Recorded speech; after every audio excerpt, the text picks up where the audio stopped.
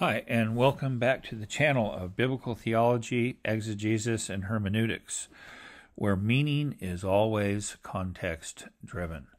Um, today we're going to be looking at Psalm 2 um, to complete the introduction to the Psalter um, and also noting um, the Hebrew poetry, and we'll be following that uh, today. Um, and so here in this particular slide, it's just this is just the the opening rhetorical question of the psalm. Lama ragashu goyim uleumim yehgu rik. Um, so this this is just says, why do the nations rage, and the peoples or, or the countries imagine a vain thing? Um, so that that's how it opens up, and um, and so the the presuppositions behind this the, these rhetorical questions is obviously that there is some type of, uh, of rebellion going on, and, and and as the psalm goes on, we'll see that the nations are in rebellion against Yahweh, um, and they have been uh, continually. Um, but more so as this psalm, um, when it reaches its fulfillment, um, theologically, um, that would only happen during the millennium um, of uh, at, Christ's return. Um, so this this, this is uh, definitely a, a, a, completely different uh, ten, uh, tenor from from the previous psalm, Psalm one. That particular psalm um, introduces the reader to have a particular type of attitude when approaching the Psalms uh, uh, in, in, terms of morality.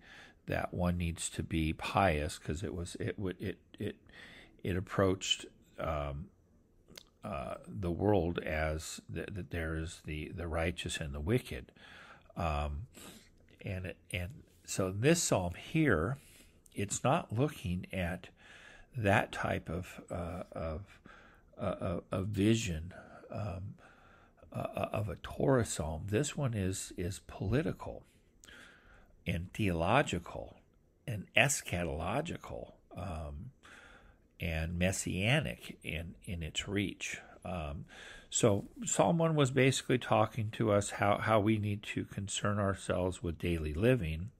This particular psalm envisions for us historically um, for the future where the world's history is destined to go. And, um, and, and we can see here by the opening salvo of questions that the world wants to uh, rule itself and have its own dominion um, over the nations. Um, but God, in His sovereignty, is going to guide uh, the world's history and it's going to end in a climax of um, the Davidic king ruling over all the earth, and that will take place at the millennium. So this will all, you know, looking at the book of Revelation, this is how it it's going to um, end in like Revelation 19, and then he sets up a millennial kingdom for a thousand years, and and and and this concerns uh, basically it'll this will all take place within Revelation chapter 20 theologically.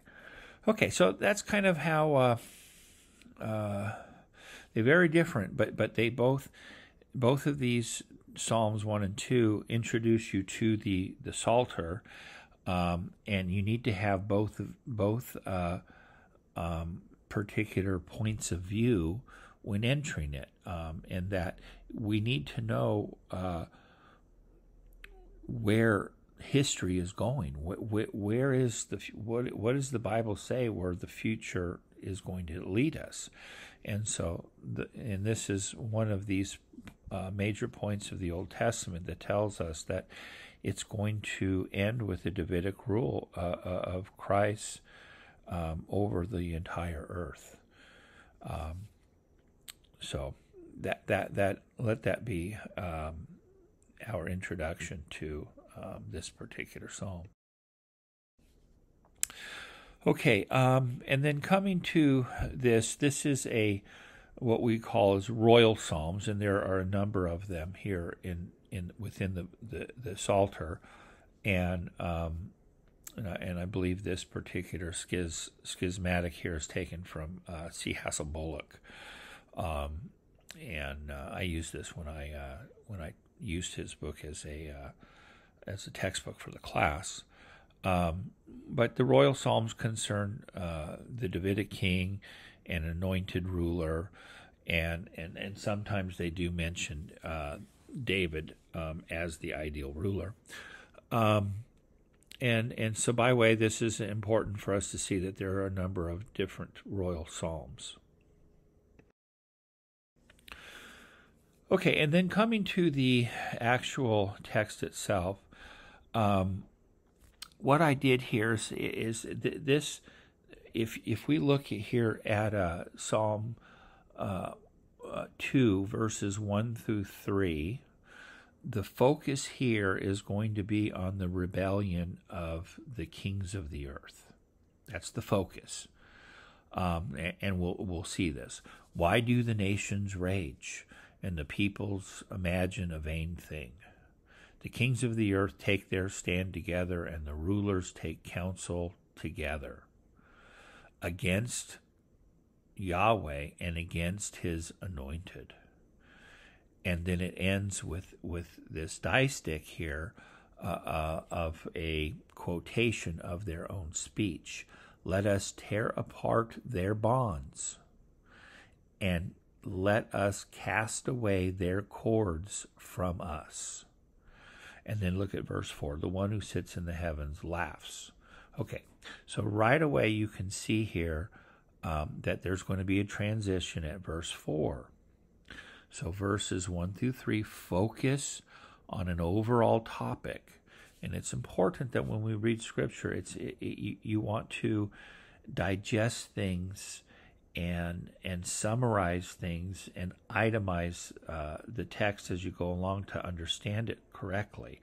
Because um, remember, meaning is always context driven, and so the the text naturally have a group of thoughts that create a um, a heading.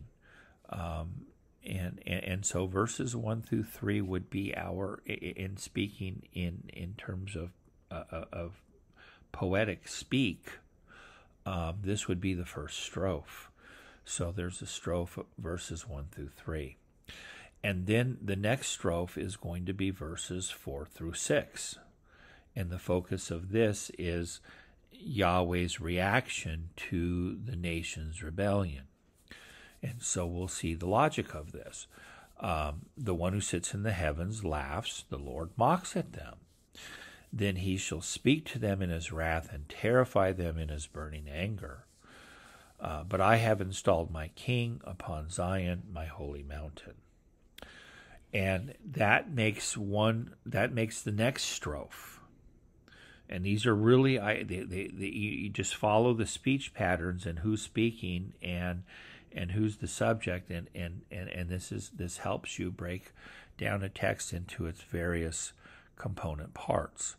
If you look at verse 7 now, it's it's talking about the Davidic king um, and, and, and his reaction to his coronation. Now let's look at verse 7 through 9. I report I will report Yahweh's decree. He said to me, You are my son, today I have begotten you. Ask of me, and I will give you the nations for your inheritance and the ends of the earth for your possessions for your possession, and you will shatter them with a rod of iron, and you will dash them in pieces like a uh, potter's vessel. Um, that's nicely. It's it's all conceptually understood as as the as the Davidic monarch's uh, reaction to Yahweh's coronation of him. Um, that is spoken of there in verse 6. So 7 to 9 form a perfect uh, um, third strophe. And then look at verses 10 through 12. And now, O kings, act wisely. Be warned, O judges of the earth. Serve Yahweh with fear and rejoice with trembling. Kiss the Son, lest he be angry, and you perish from the way. For his wrath burns uh, momentarily, um, or, or his wrath is incited easily. Uh, blessed are the, all those who take refuge in him. So this is obviously now the the narrator's um, instructions for the kings of the earth for how they are to be, um, how they should behave themselves um, after Yahweh has uh, installed His anointed King on Mount Zion. So this is the fourth strophe. So this nicely breaks down into uh, four strophes. Uh, very, very. Uh, there's no question. I think if you if you begin to look at at, at any commentary, it's all everyone's going to break this thing down in a macro structure of of these four different strophes. And you can see this here. How um, I, I just put this together uh, looking at a macro structure, Psalm 2, Yahweh's coronation of the Davidic king and the nation's rebellion. And then, so you have a report of the rebellions of the kings of the earth, 1 through 3, report of Yahweh's reaction to the king's rebellion, 4 through 6, the report of the Davidic king's reaction to his coronation, 7 to 9, and lastly, the psalmist's instructions for the kings to submit to the Davidic king, 10 to 12. So that's that's it's it's and and scholars also look at this as like an A B B um, A construction, um, and uh, and and and so there's uh, but most scholars look at it this way. Um, so I've just I've given this here some. Uh, this is just my uh, particular um, analysis of this at the moment. Um, but it's important, at least, to, to break it down into sections, um, and then that way, when we when we go over each section, we can look at the micro uh, structure uh, of each particular unit, and we'll do that now. Okay, so coming to um, uh, to the first strophe, the report of the rebellion of the kings of the earth, verses 1 through 3. So this is going to break down into three separate sections. Um, and let's look at this. The, the first one is the rhetorical questions concerning the nations. Why do the nations rage and the peoples imagine a vain thing? So that's the that's the opening salvo, and that would be point A. Um, and and remember here that uh, we we need to be looking at the relationship of line A to line B in in this biblical parallelism um, of here, which uh, this particular uh, there's a lot of um, uh, of synonymous parallelism with within this particular psalm, and um, and line A and line B um, are, are, are set um, in, in in lines, and we need to discern what is going on here.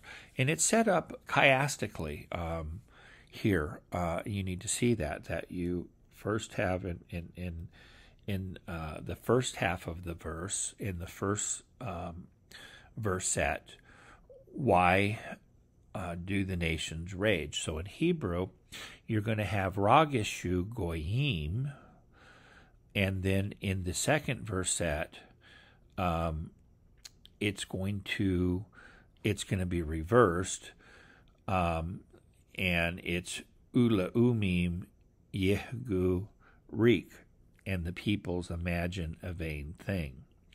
Um, and so that's chiastically set off. So it's it's it, he the, the, the, this is looking at um, art artistry, and um, and and the difference here between nations and leumim, peoples or countries.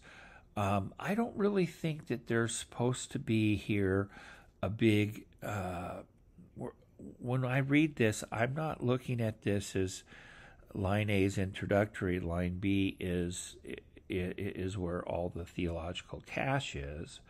I think the way the relationship of or the correspondence of, of the first verset of line A to line B are more evenly matched, um, and that they both are uh, uh, they both are, are very pungent.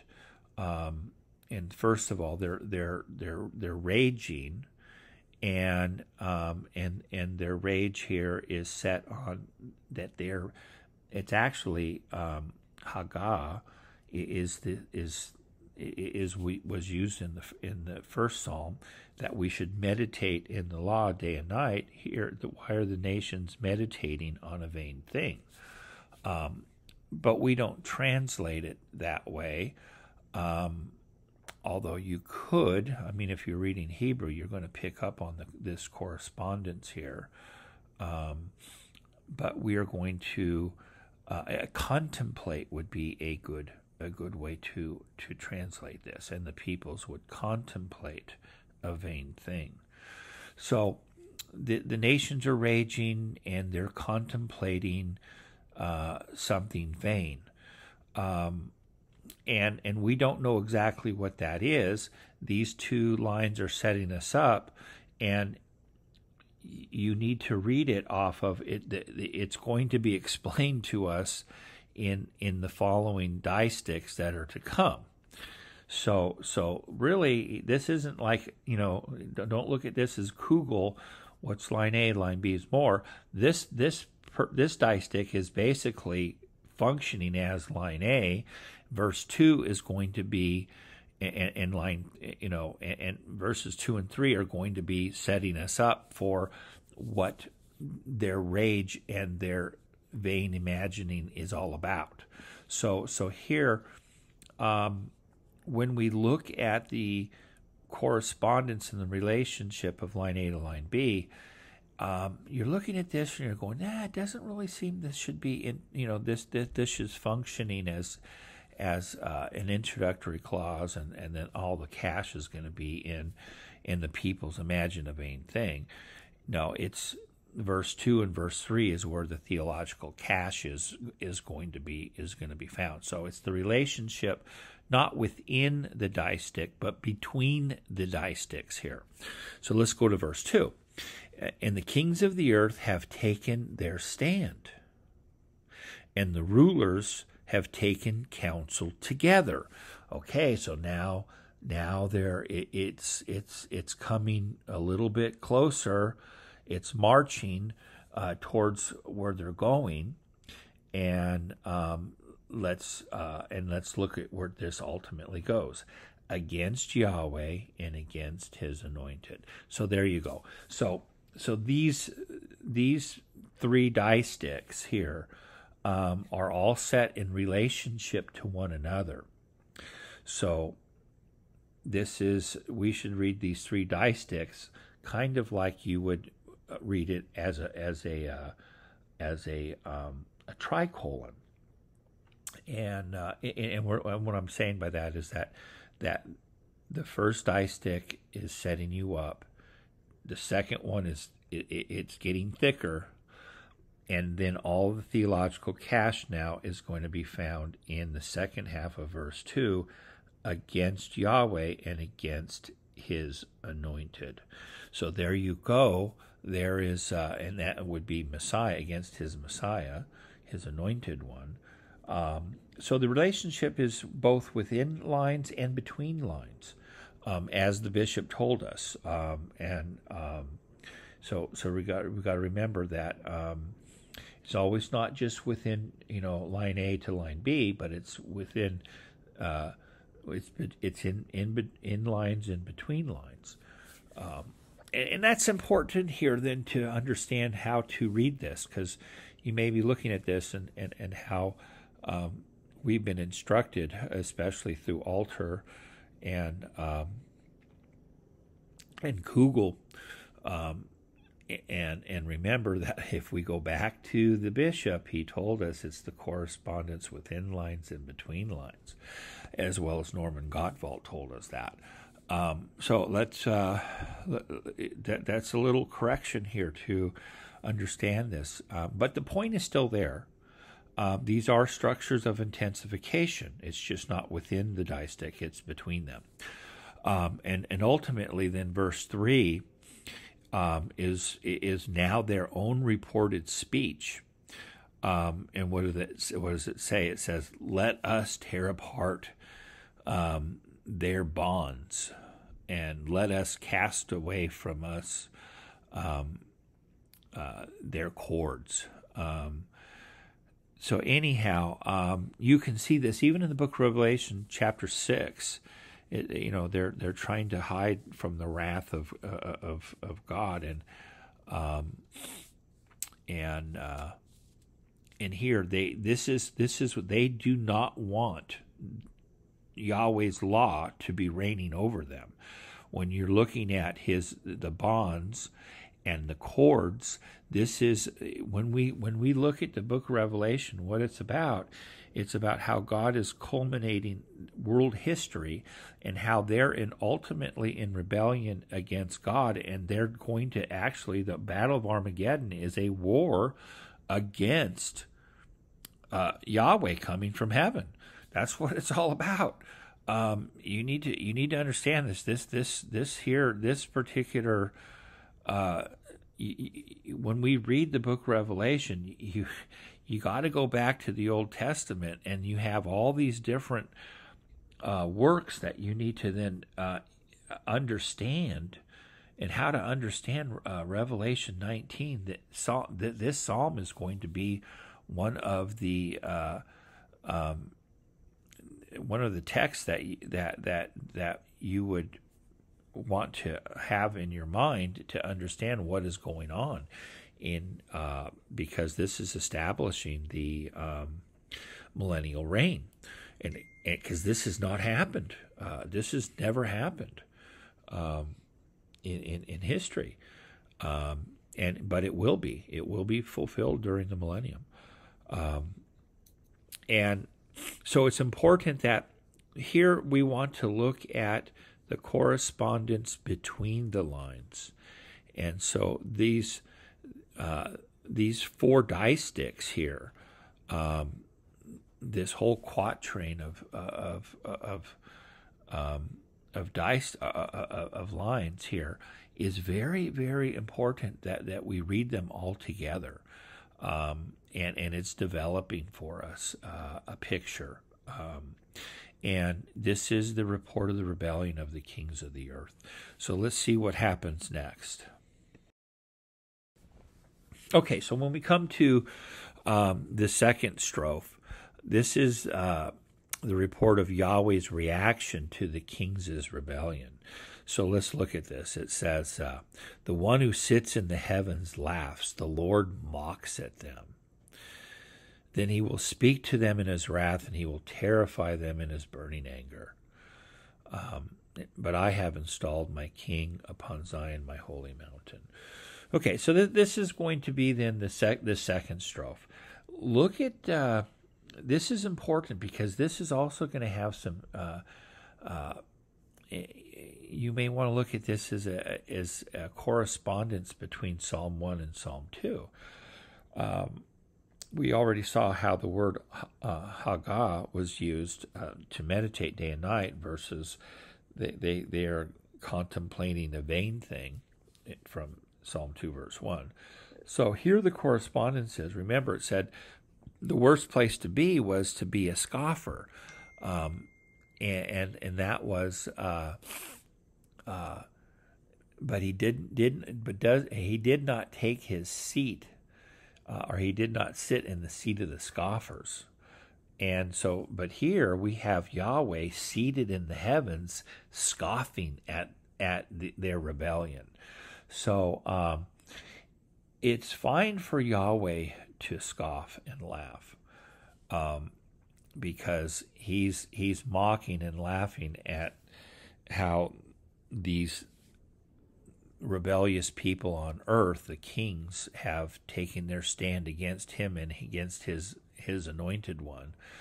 And so it's it, it's a vain thing to uh, try to fight God. You're never going to win. God is not mocked. and um, and here the psalmist definitely says uh, Yahweh is laughing at them and mocking them.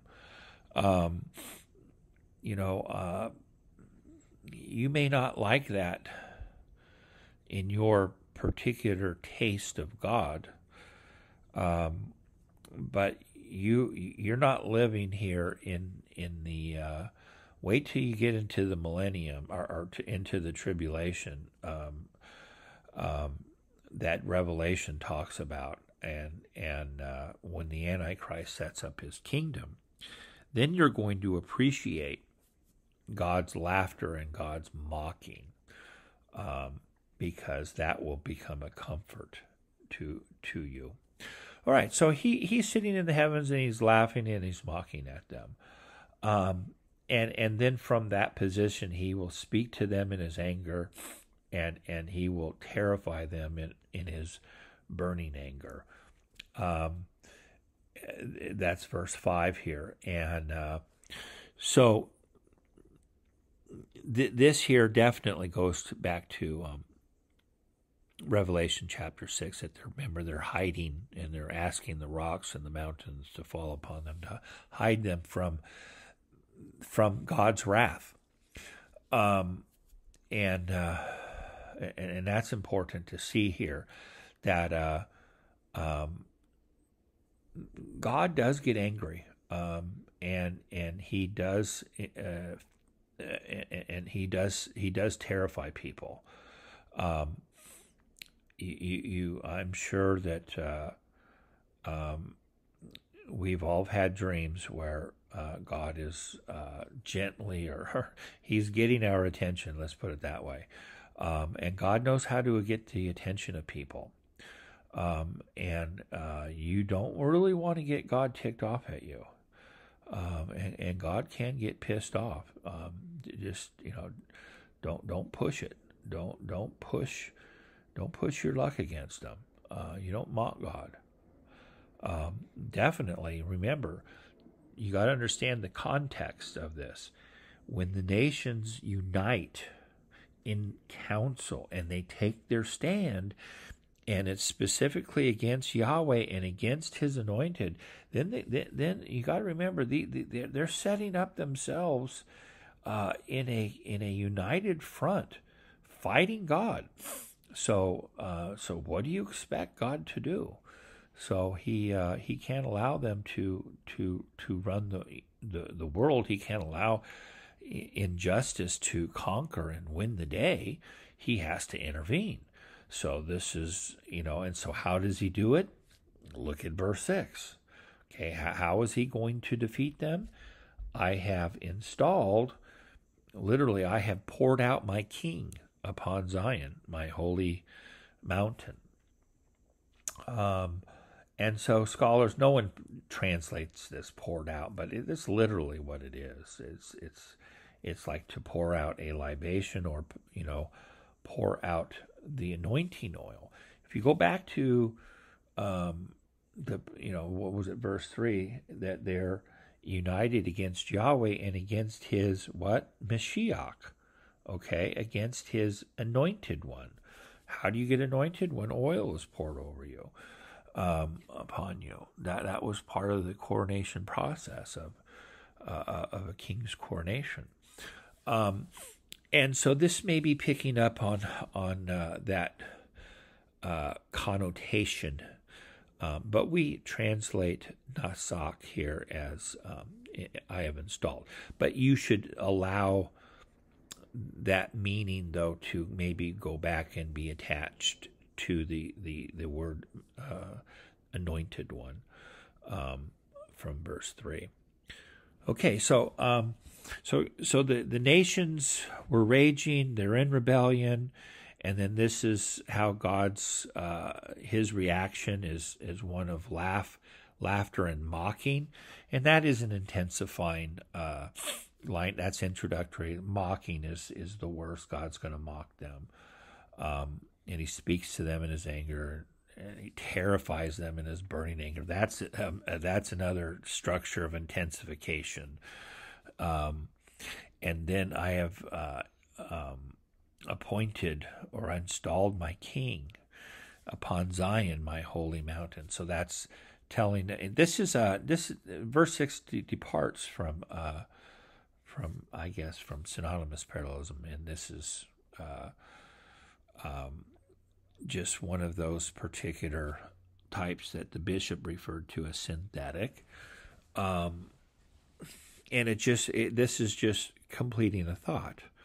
Um, and it's and, and and we need to look at this. It is important that he's not just installing his king anywhere. It's a it's where it's at Zion, and uh, and then what is Zion? It's God's holy hill. So that's it's very specific there, um, and and that's important to note. So these are all structures of intensification. Um, just this is this this psalm is just represents excellent poetry. Okay, so um, now coming here to uh, the third strophe, the report of the Davidic king's reaction to his coronation. Um, so let's look at this. Uh, I will report Yahweh's decree. He said to me, You are my son. Today I have begotten you. Ask of me, and I'll give you the nations for your inheritance, the ends of the earth for your possession. You will shatter them with a rod of iron, and you will dash them in pieces like a potter's vessel.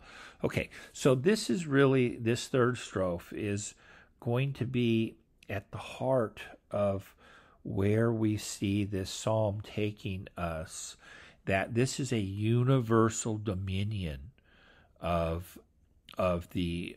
Uh, uh, uh, of the Davidic monarch. So this is why we would apply this to as a messianic royal psalm, um, and that obviously this has never been uh, uh, fulfilled, and, and so the, the only way this could can be fulfilled is uh, as we would see at Christ's second return, uh, at his second coming, when he sets up a millennial reign and and and and, and these are promises actually to the, the, the seven churches whereas one of them is is that you know he, you know if you to the one who overcomes I'll grant him to you know uh, rule with a rod of iron. Um, so uh, and so they're joining in with Christ in his millennial reign. They become kings and priests. Um, so this here is uh, definitely you have to this is where why you have to read this psalm uh, messianically ultimately and uh, and and the only way it fits in the New Testament is is in the millennial reign. Okay, so um, so let's look at this. This is talking about um, so so Christ. It's his going to be his reaction to um, his coronation um, to set up the millennial kingdom that God has granted him. And so God says here, um, or it, it just says, the, I mean, excuse me, the, the Davidic monarch Christ, he's, he's saying here that I will report or I will tell of Yahweh's decree. Um, he said to me, and so now this is what he's saying You are my son. Today I have begotten you and then um, this is as if Yahweh says, Ask of me, and what will Yahweh do? I will give to you um, the nations for your inheritance, the ends of the earth for your possession. And how are you going to do that? You will shatter them with a rod of iron and you will dash them in pieces like a potter's vessel. So these are f- for those who refuse to submit to the king, they will ultimately be destroyed.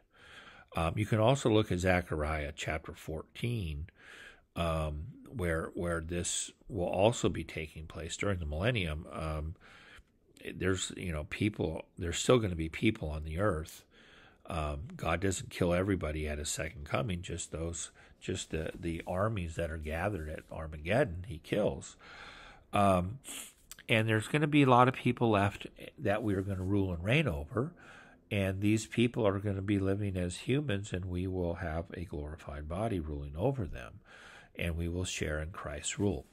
Um, I'm just looking at this. This is more of a biblical theology of this particular psalm. Obviously, how I'm interpreting this. That's incorporating both testaments, um, and uh, so excuse me for um, for me doing that, but uh, but that's how I wanted to approach uh, today's, uh,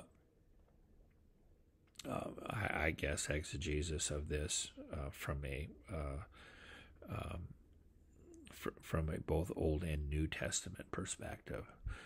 Um, so ultimately, here, um, God is going to rule over the earth through the Messiah, um, and it's and it, it, it, it's specifically a worldwide dominion. Um, and we have this adoption formula today I have begotten you. Um, you are my son, today I have begotten you, verse 7. Um, now we need to know that, w- that this adoption language, where does it come from? It, it comes from 2 Samuel um, chapter 7, verse 14 and, and this is the prophetic oracle that God gave to Nathan to give to David. Um, and he says that um, here, uh, and this is Nathan talking to David, and he says, uh, When your days are fulfilled and you lay down with your fathers, I will raise up your seed after you, who shall go forth from your bowels, and I will establish his kingdom. That's verse 12. Verse 13. And he will build a house for my name, and I will establish the throne of his kingdom forever.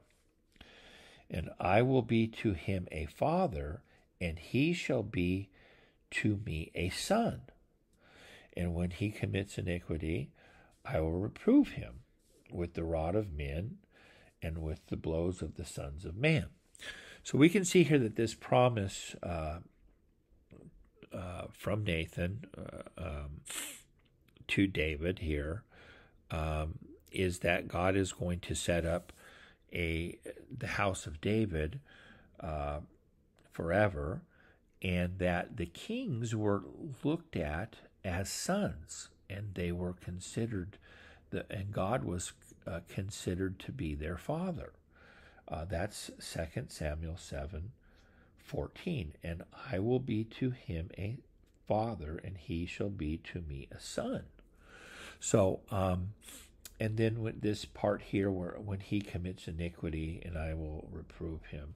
So this is, you know, you can go to Hebrews for that. That you know we're all sons of God, and uh, and and there is no son that he receives that it is isn't isn't uh, isn't disciplined.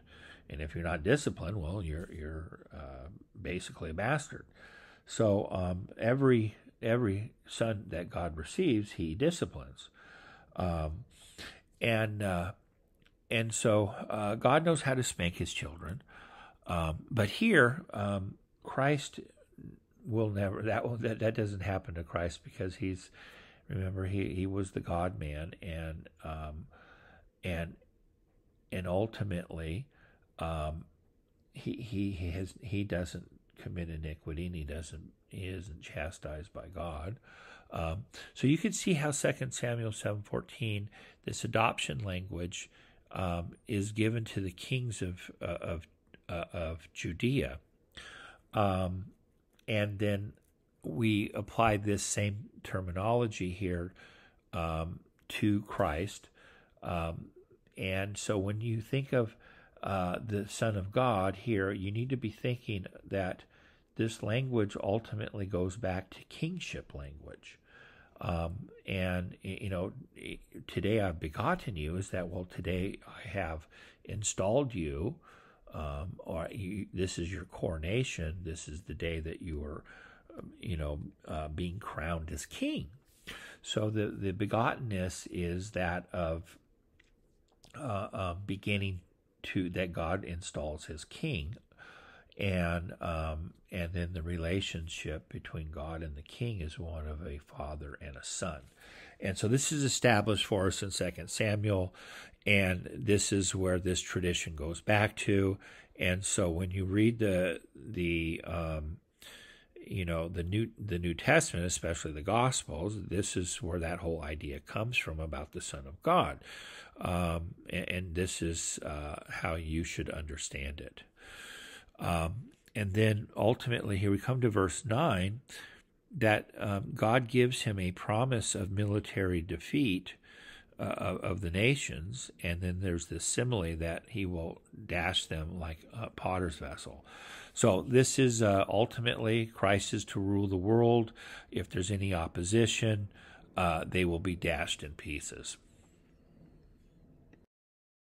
Okay, so coming here to the end of the psalm, um, now we have the psalmist's instructions to the kings and judges of the earth in verses 10 to 12. Um, and we have this nice little transitional formula, and now. So this is basically, you know, how, how the psalmist is, is going to end uh, and transition into this last strophe, this final fourth strophe. Um, and, and, that's important that you, take, pay, you pay attention to vi'ata uh, in verse 10. That's how it opens up in Hebrew, vi'ata. And now, okay, and so then you're, okay, so then what's coming next? It says, so it says um, here, and now, O kings, act wisely. Be warned, O judges of the earth. Serve Yahweh with fear. Uh, rejoice with trembling. Kiss the Son, lest he be angry, and you perish from the way. For his wrath burns easily. Uh, that'd probably be a better translation here for ki, yiv er. Um, and then it ends here with um, Ashrei Kol uh, Jose Bo. Um, uh, blessed are, are, how fortunate are all those who take refuge in him. Um, so this here has some other language, two two different things here. Um, the very last uh, verse set, blessed are all those who take refuge in him. Um, Remember, Psalm 1 began with Ash, Ashrei Ha'ish Asher, right? Blessed is the man who. Um, now, this this is eh, forms like an inclusio to that. So Psalm 1 and 2 are taken together as as as an introduction to the whole Psalter. And it, and it has this envelope uh, structure where it begins and ends with Ashrei. Um, and if you look at verse 12, it says, And you perish in the way uh, remember, we had, uh, you know, but the way of the wicked shall perish, right? So this is uh, an echo of that. And it says, uh, vitovedu derek, and, and, and they perish in the way. Um, so, so this psalm, Psalm one and two have a lot of different uh, um, connections between them too, with with phraseology. Um, and when you look at them as um, introductory to the Psalter, then you can see further little um, way they that, that, they have correspondences between them. Um, but now, what what is this fourth fourth uh, strophe all about? It's about um, instructions for submission to the Davidic monarch. He, he's giving them uh, um, advice, and so looking at verse 10, uh, this is uh, mental preparation. So it's it he's so how you do that he's telling them to act O kings act wisely and be warned O judges of the earth. So this is he's he's warning them um, that they just can't be acting uh, as they as you know as they want to they have to be submitted to the Davidic monarch. Um, and if they don't, they're they're going to be destroyed. You're not going to be able to play games in the millennium. Um, and, and, this is what this is ultimately. We need to look at it. This is future, um, and, and, this is. Uh, you know, we only have one chapter in the New Testament, you know, about the millennium there in Revelation 20, but there's, you know, you have to fill it in with the Old Testament, and there's tons of material to throw in there. And this is definitely one of them. Uh, So it's you know especially Zechariah 14 you want to put in there. I mean look at Isaiah, the, the end of the book. There, there's be a lot there to be put in there. Um, so so this is the the mental preparation is talking is found in verse 10 physical policy that he's giving to the kings and the judges is that they should serve Yahweh with fear rejoice with trembling. So he you know they, they he's in telling them that you need to have fear. I mean christians really don't like this but you know what? I don't really you know you need to you need to read your bible. It's in the gospels it says don't fear the guy who can kill your body but can't do nothing to your soul. Jesus says rather fear the one who can destroy your body and throw your soul into hell. That's who you ought to fear. Um, and uh, so specifically you know all this foolish talk about this candy cotton god that people create for themselves in the New Testament. It's a bunch of garbage. Um, you need to be you you need to fear God, um, and it's all over the New Testament. You just need to open your eyes, and uh, because God's wrath is God's wrath is uh, easily kindled. You just go to Romans. The wrath of God is being revealed from heaven. Not was, not shall be. It is being. Um, so um, people need to wake up and smell the coffee. Um, don't create for yourselves a phony God, um, one after your own image. Um, you, you, need you need to have a biblical theology. Um, make your theology built upon what the Scripture says, not some person's uh, vain imagination of who God is. God's a lot bigger than you. Um, so here, I don't know why I went there, but I did. Um, maybe you need to hear that. Um, so, looking here at this physical policy, you need to serve God with fear and rejoice with trembling. Um, and that's for the kings of the earth, to, for them to remember that they just can't be doing their own thing. They can't be making their own policies. Remember, they all God is reigning and ruling from Jerusalem, and and you have to align your policy with the policy that is established at Mount Zion. Remember, the law will go forth from uh, from Mount Zion. Um, remember, that's the whole thing there going on in uh, in Micah and, and Isaiah chapter two. Um, that's another thing where we need to put in here uh, about the millennial reign, where they, you know, beat their swords into plowshares. Um, so here's instructions for the kings. Um, and then there's a, a, a final instruction and purpose of instruction, which is kiss the Son, lest he be angry and you perish in the way.